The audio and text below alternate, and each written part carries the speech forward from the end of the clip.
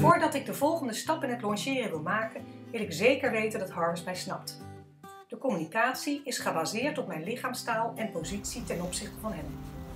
Hij heeft een vliegedeken aan om ook te wennen aan het dragen van een deken. Met een jong paard moet je bewust met iedere verandering omgaan.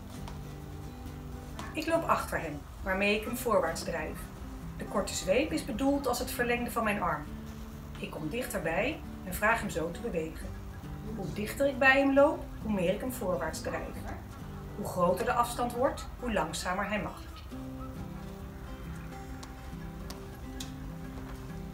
Door mijn positie te veranderen vraag ik hem om te draaien. Ik ga schuin voor hem lopen, met mijn zweepje in de andere kant genomen en met wijde armen drijf ik hem van mij af. Dit is duidelijke taal. Zonder stress weet hij inmiddels wat ik bedoel.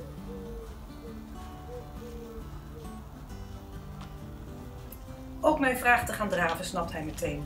Ik kom dichterbij en vraag of hij meer voorwaarts wil. Zolang ik achter hem loop, drijf ik hem voorwaarts.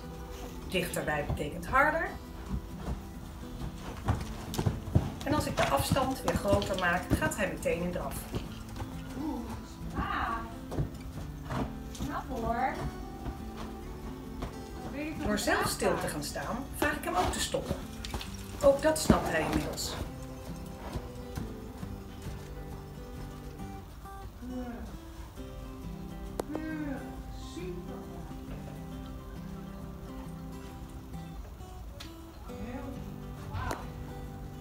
Vanuit stilstand de andere kant op.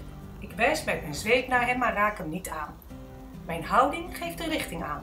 Ik herhaal, tot hij me weer snapt. Hij loopt van me weg en ik ga aan de rechterkant van hem lopen. Daarmee vraag ik hem linksom te gaan. En weer is dichterbij komen een hoger tempo. Ik zorg dat mijn positie achter zijn schouder blijft. Ja, braaf.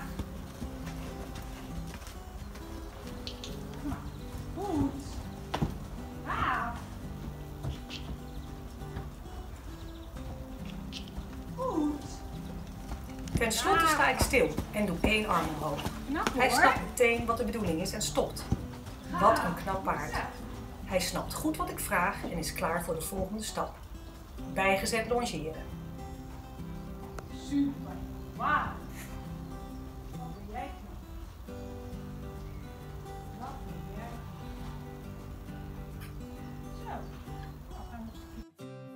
Tot de volgende keer!